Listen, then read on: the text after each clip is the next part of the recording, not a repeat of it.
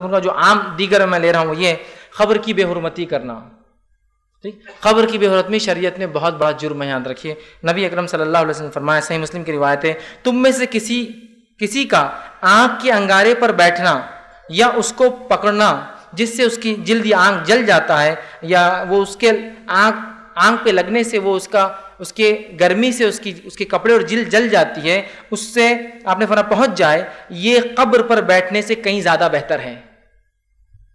इंसान अगर कोई आँख के अंगारे बड़े से उसका कपड़ा और उसकी जिल जल जाए, ये ज़्यादा अच्छा है बनस्बत तुम्हारे खबरों पर बैठने से। खबर पर बैठने से आपने बहुत मना किया, बहुत से लोगों को देखा जाता है खबरों पर बस यूँ ही बढ़ जाते हैं। महल्ले में एक खबर होती है, बस आ जाके पूरे लोग लौट रहे हैं, बैठ रहे हैं, सो रहे हैं खबरों की हरमत याद रखिए अलग बात है, खबरों को पक्की नहीं बनाना चाहिए। लेकिन उसकी हरमत है। आप बैठ नहीं सकते उससे। इसके उलमा ने कई माने लिए हैं। कुछ ने लिया कि बैठने से मुराद बैतुलखला के लिए खबरों पर ना बैठे।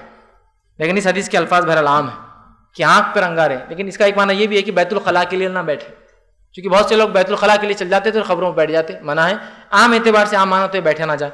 दूसरा हदीस में आप क्या फरमाते हदीस इबन माजा की सुनी अल्फाज। मैं आँख